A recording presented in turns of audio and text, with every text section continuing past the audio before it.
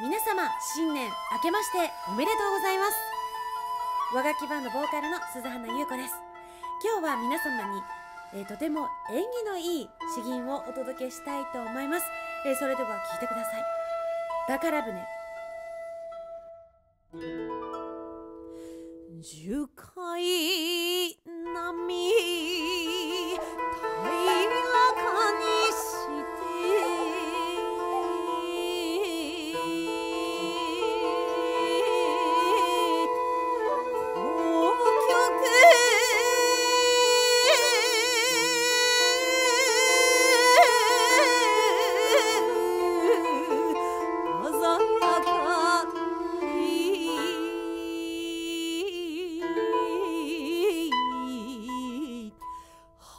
遥かに見る。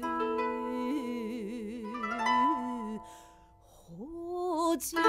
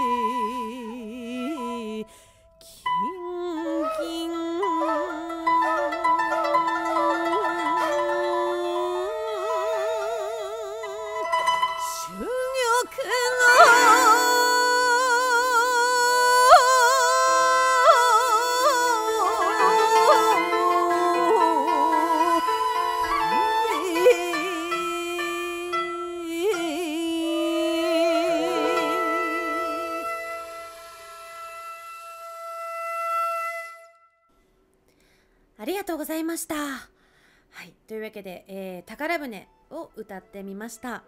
えこれはどんな詩吟かと言いますと、えー意味はですね、まず樹海並みという、えーところから始まりますが、樹海という言葉は、えー長寿を、え祝う言葉となっています。